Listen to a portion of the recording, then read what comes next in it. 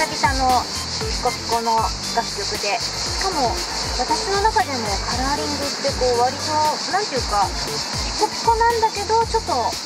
ミディアムな印象があるっていうかそういう感じの曲ってちょっと珍しいなと思いました。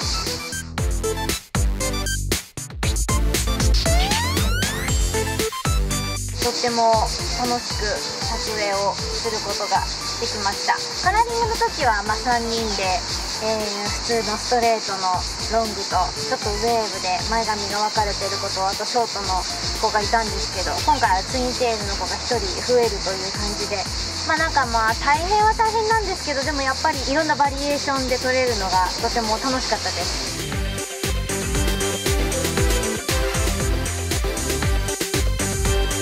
まさか堀江由衣がまさかの3位っていうまあでもだいぶ検討したかなとは思います、えー、人気投票もでもとても面白いカラーリング総選挙ということでとても楽しい企画でした。投票してくださった皆さんありがとうございました。